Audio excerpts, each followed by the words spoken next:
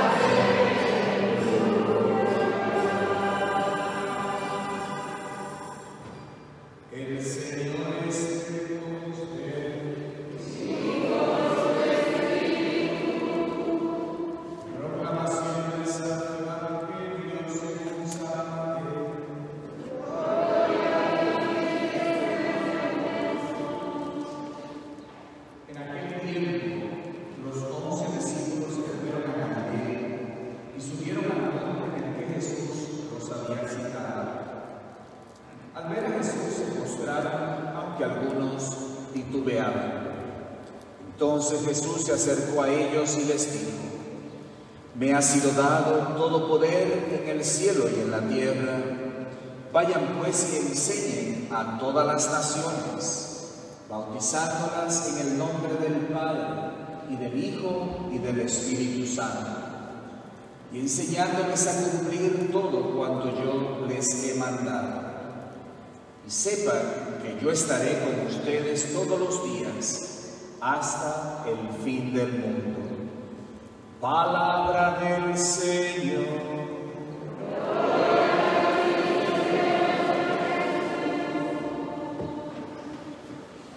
Tengan la bondad de sentarse, por favor.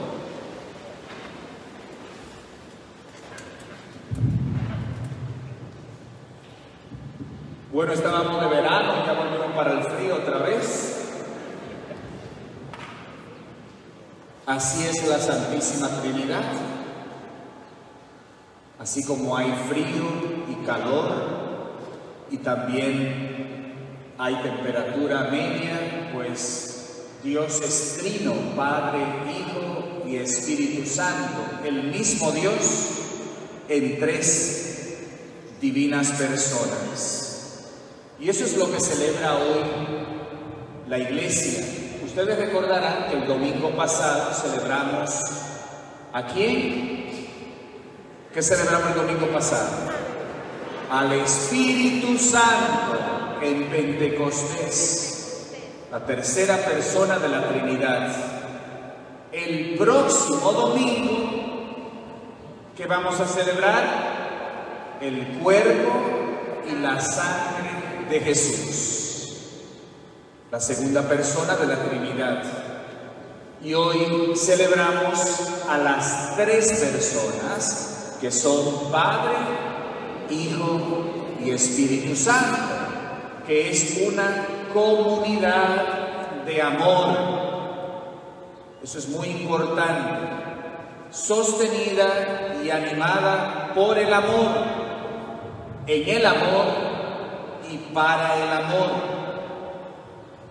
¿Cuál es la realidad más profunda de Dios? De que Dios es amor.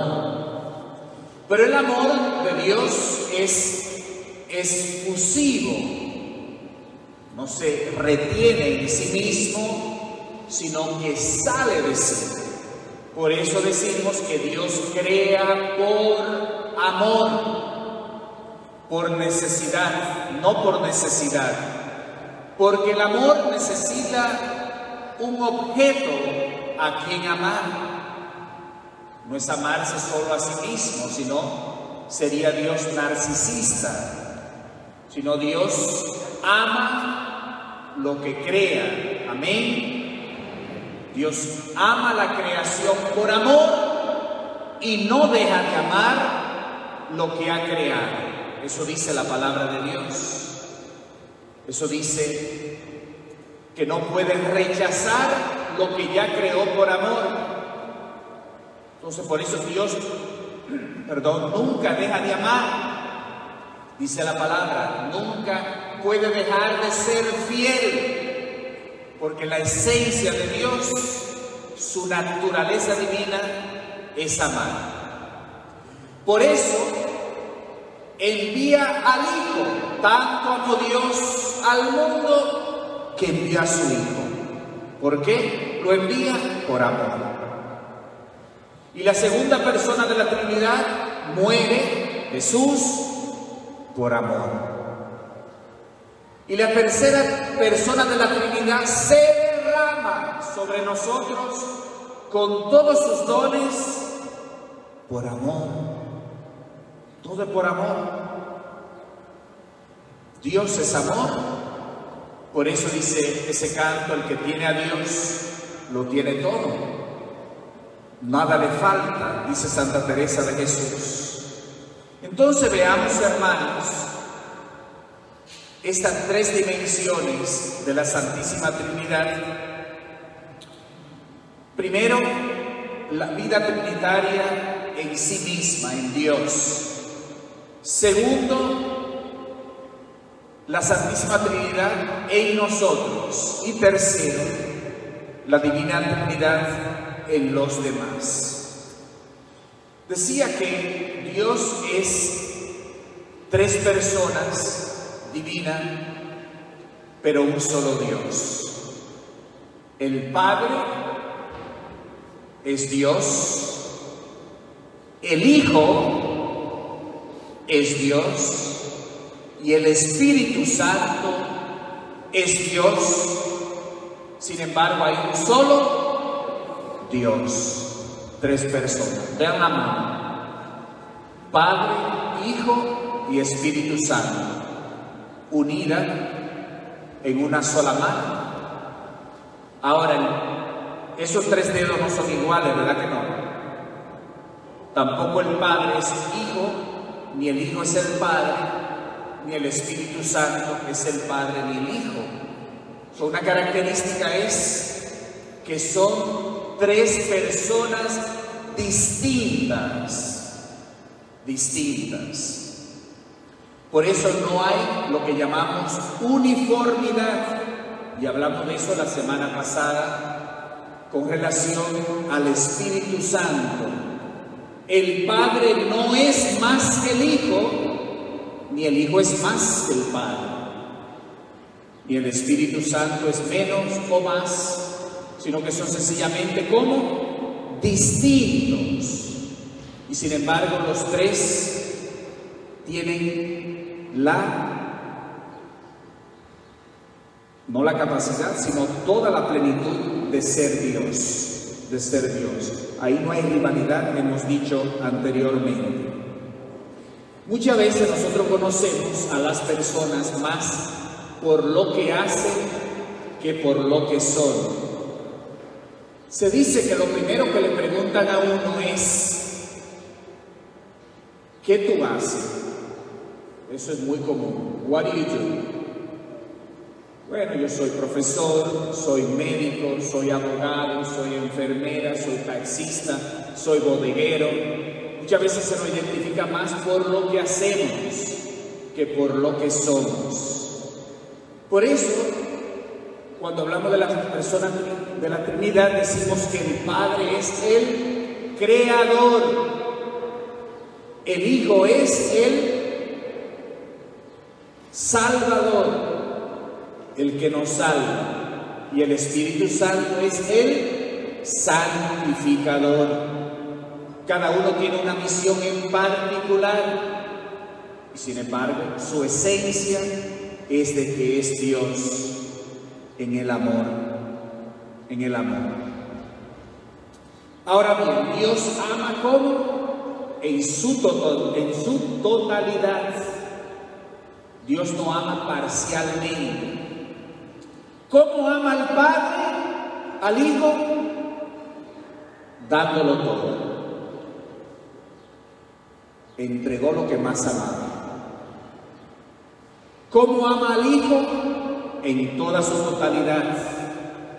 Amando a los suyos, los amó hasta el extremo, dice San Juan, dando su vida, derramando su, su sangre en la cruz.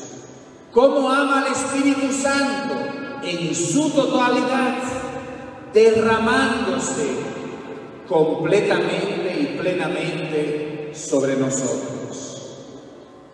Ahora bien, ahora vamos al segundo punto, la Santísima Trinidad en nosotros. Dice la palabra que tú y yo fuimos creados a imagen y semejanza de Dios de la Santísima Trinidad. Por lo tanto, esas características se manifiestan en nosotros. Un niño una vez en la catequesis le preguntó a su maestra, ¿dónde está Dios? Que no lo veo. Y era en el campo. En el campo tienen un pozo, ¿saben lo que es un pozo de agua? La catequista lo mandó a verse ahí, a ver al pozo, abajo. Y el niño miró hacia abajo y se vio a sí mismo, vio su cara. Dijo, ahí está Dios. El mensaje es que cada uno de nosotros tiene la impronta de Dios.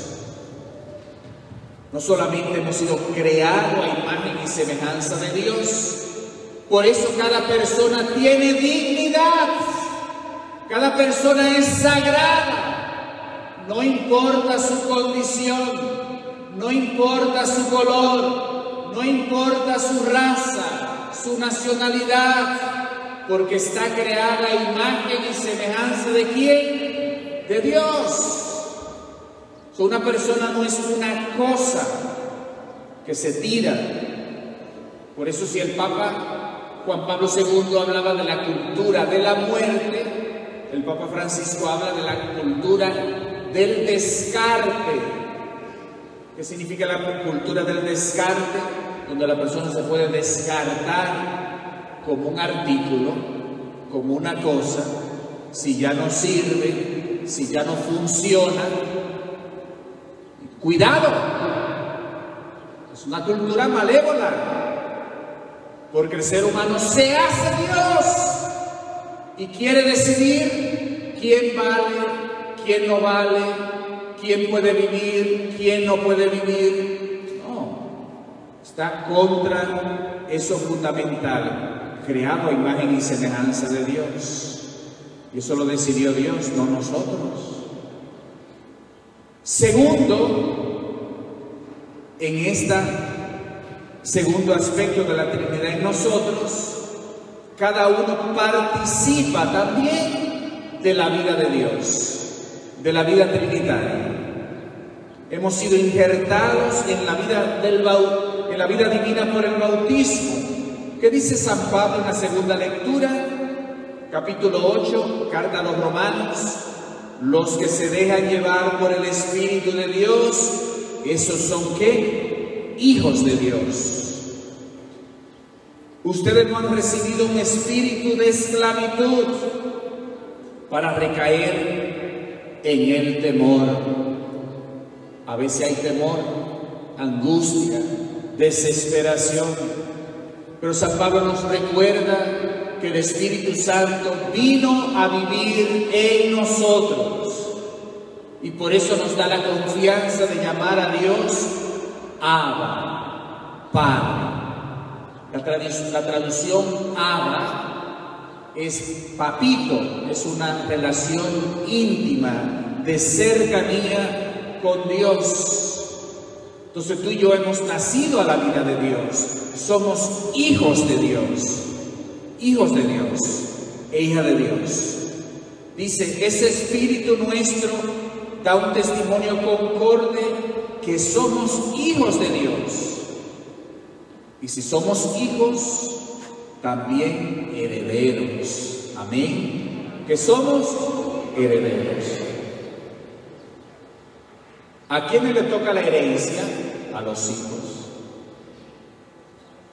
Se supone que es así. Si hay que dejar un pedacito de tierra por ahí, o una casita. A veces los hermanos están peleando, a ver, por eso sí, desgraciadamente, ¿no? Por un pedazo de tierra una casa, es un lío. Pero el punto es que le corresponde porque son hijos. Dice San Pablo en el orden espiritual, si somos hijos de Dios, coherederos en Jesús de la gloria eterna. Pero añade, ya que sufrimos con Él, para ser también con Él glorificado. Es decir, si hemos vivido como hijos de Dios, si hemos tenido esa relación con Dios que es nuestro Padre, no pidamos la herencia si no nos hemos portado bien como hijos, ¿verdad que no? Porque eso aparece. Hay algunos que nada más aparecen a buscar la herencia Y a la pobre mamá no estaba ahí, hoy día de la madre en el momento, pero se aparecieron cuando iban a repartir. Ah, porque son hijos. Entonces no es así, dices, si han, dice San Pablo, sufrido con él, si han participado en la vida de Jesús, para también con él ser glorificados. Entonces fíjense hermanos que nos dice esta palabra, que tú y yo hemos nacido de Dios, participamos de la vida de Dios por el bautismo. Por el bautismo. Por eso que es tan importante bautizar, que es el último punto que trata esta reflexión. Cuando dice la vida divina en los demás, entonces hablamos de la vida divina en la Santísima Trinidad, la vida divina en nosotros y la vida divina en los demás. El Evangelio de hoy de San Mateo, capítulo 28, que se llama la Gran Comisión, al final, antes de Jesús subir al cielo, le dio una comisión a sus apóstoles. ¿Cuál fue? Vaya por todo el mundo y enseñen todas las naciones y bautícenlas en el nombre del Padre, del Hijo y del Espíritu Santo. Entonces, fíjense hermanos, que Dios quiso que la vida que tú y yo tenemos y de la cual participamos, la dignidad que hemos recibido, la vayamos a anunciar por eso hay que anunciar la buena nueva de Jesús. Hay que anunciar que el ser humano ha sido creado por Dios. Hay que anunciar que Dios quiere que todos participen de la vida divina, no solamente en el orden natural, sino también en el orden sobrenatural, bautizándoles. Porque como tú y yo recibimos la vida divina a través del bautismo. Amén. No, que yo no quiero bautizar ahora. Cuando mis hijos crezcan y ya ellos mismos tomen su decisión, pues que se bauticen si quieren. No lo manda a la escuela, ¿para qué tú lo mandas a la escuela? Espera que tengan 12 años si quieren ir a la escuela. No le des de comer, ¿para qué tú le vas a dar de comer? Cuando son bebés, si son niños.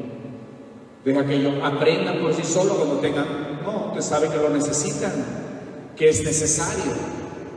Por eso aquellos que dicen, no, yo voy a esperar al bautizo, hermanos, es como todo en la vida. A veces nosotros decidimos por nosotros lo que a uno le parece y le conviene y no lo que Dios quiere. Hermano, esto lo dijo Jesús. Es un mandato. Vayan y bauticen lo mismo que dijo, hagan esto en memoria mía. Lo mismo que dijo el domingo pasado. Reciban el Espíritu Santo a quienes le perdonen los pecados, le queden perdonados. ¿Es un mandato de quién? De Jesús. Es un mandato de Jesús. Entonces él mandó, lo mismo que mandó a bautizar, mandó a perdonar los pecados y mandó a celebrar la Eucaristía. Ah, no, no, que esa parte de la Biblia a mí no me gusta. Bueno, pues entonces, de cristiano a media, ¿verdad? Coge lo que le, conviene. Entonces, no, si creemos en Jesús, tomamos todo lo que Él mandó, ¿verdad que sí? Igual que algunos mandamientos, no podemos decir, bueno, a mí nada más me gustan cinco de los mandamientos, los otros como que no, no, lo siguen siendo igual porque lo dio el mismo Dios. El mismo Dios trino, Padre, Hijo y Espíritu Santo. Eso es como que te diga, bueno, de las tres personas de, la Trinidad, yo nada más me llevo bien con una, ¿verdad?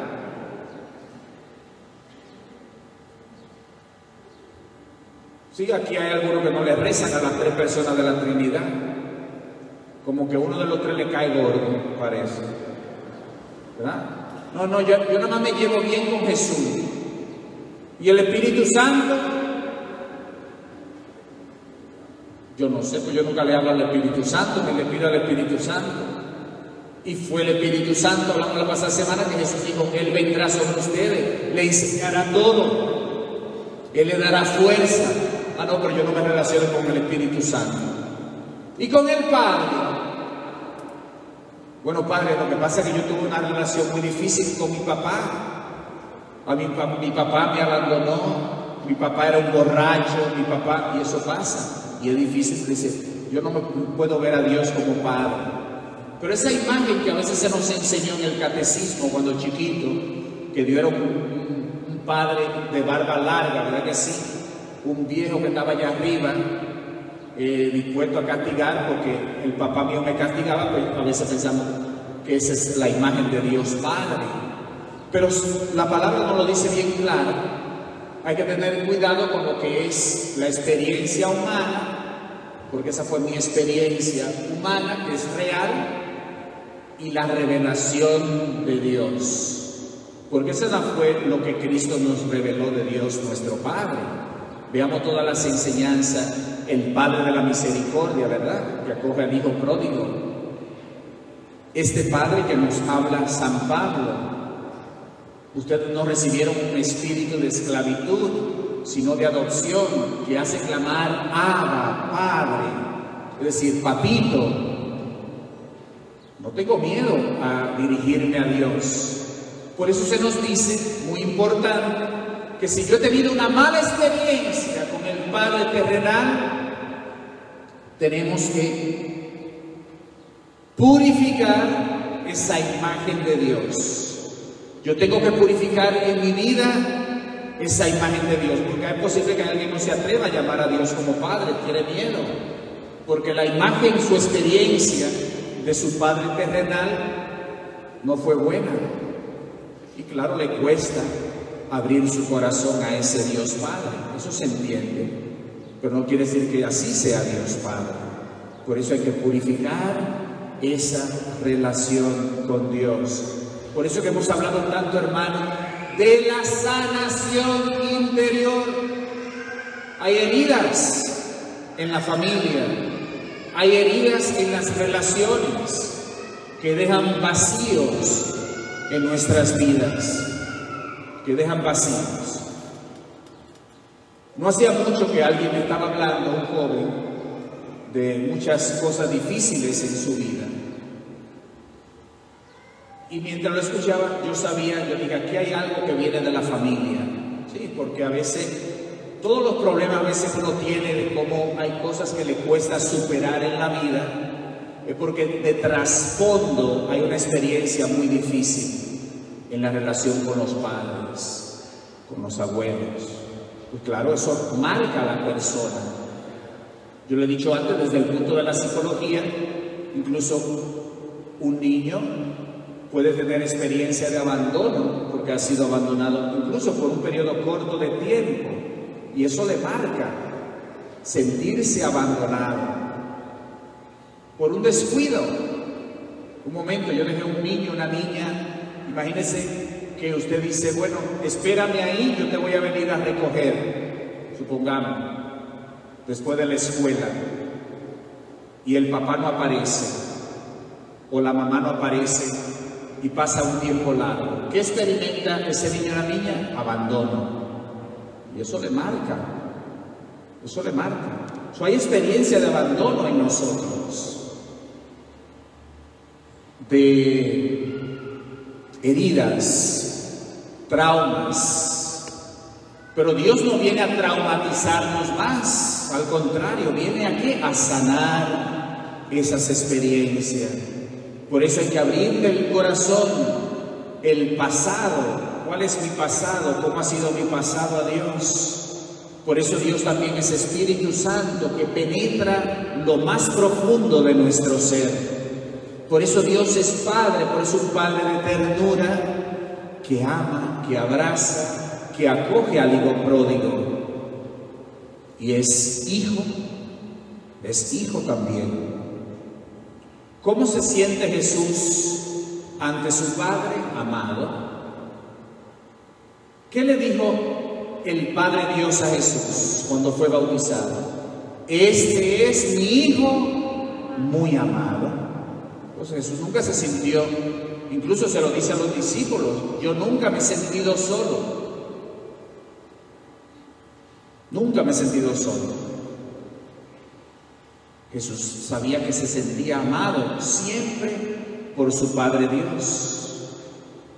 El Espíritu Santo viene a confirmar, yo no les voy a dejar huérfanos, había dicho Jesús, no le voy a dejar huérfanos.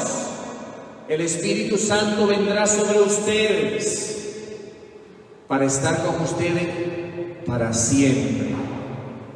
El Espíritu Santo no vino con un trabajo part-time. Ustedes saben. Lo que tenemos un trabajo part-time, de vez en cuando y algunas horas. No, el Espíritu Santo es para estar con ustedes. ¿Cómo? Siempre. ¿Cómo? Siempre. Para toda la vida. Pero hay que tener una relación con el Espíritu Santo. Entonces, hermanos, hoy la palabra nos recuerda, Dios es Trinidad, comunidad y amor. Y ese amor entre el Padre, el Hijo y el Espíritu Santo que se desborda toda la humanidad hacia todos nosotros, es para que nos sintamos cada vez más amados por Dios, podamos amar más a Dios, adorarlo a Él, adorarlo, santificarnos a nosotros por el Espíritu Santo.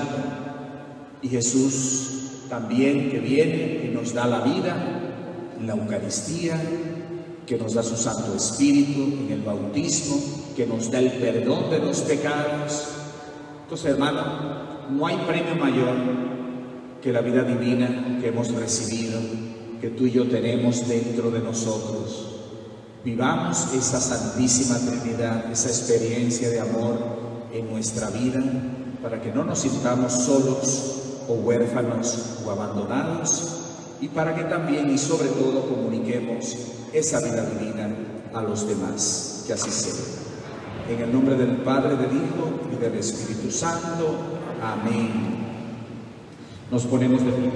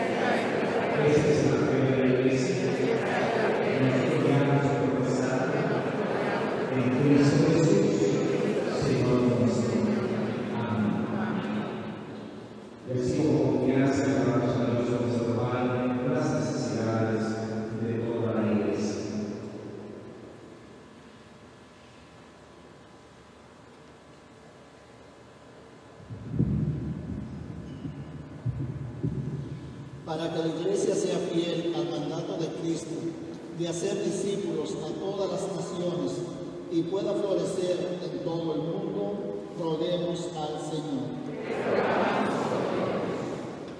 Para que los obispos y sacerdotes trabajen sin descanso para suscitar en los corazones de las personas un fuerte amor a su fe, roguemos al Señor.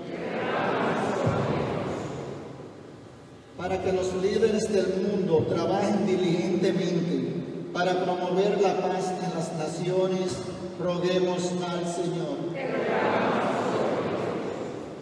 Para que la vida de la Santísima Trinidad llena al pueblo de Dios, ellos, como pueblo de vida, promuevan un nuevo respeto y protección al derecho de cada ser humano a vivir roguemos al Señor.